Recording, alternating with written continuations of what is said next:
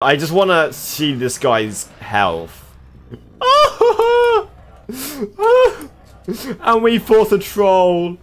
And we we spent ages on the troll last episode.